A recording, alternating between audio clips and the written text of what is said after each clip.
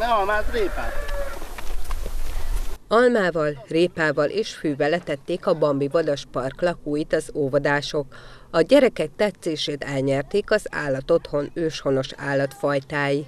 Tehenek a csacsik, meg a mala, malacok, meg a szarvasok, meg a bocik. Nekem a tetszik a boci, meg a disznó, a vaddisznó, meg a bocik, és még a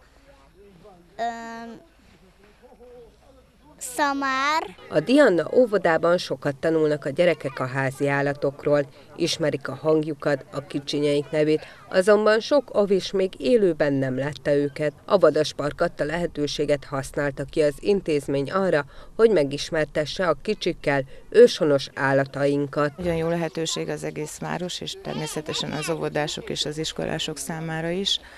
Ez a vadaspark, ahol megismerhetik a ház körül érő, tanyán élő állatokat a gyerekek, főleg azért, mert a családokban már nem találkoznak ezekkel az állatokkal, maximum a kutyát, macskát, egyéb hobbi állatokat ismerik meg. A falun élő nagymamákhoz ritkán jutnak el. A Bambi Vadas Park 2012. decemberében nyitotta meg kapuit a nagy közönség előtt.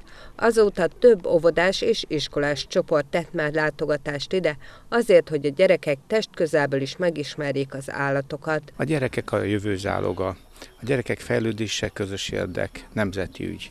Én azt gondolom, hogy ezt kellő súlyjal kell képviselni, kellő súlyjal kell segíteni, és úgy látom, hogy a gyerekek nagyon érdeklődőek, nagyon akarják az újat, nagyon akarják megismerni az állatok életét, egyáltalán természetet nagyon szeretik. Így persze könnyű, és úgy látom, hogy nagyon érdekes, értelmes, és örülnek a gyerekek.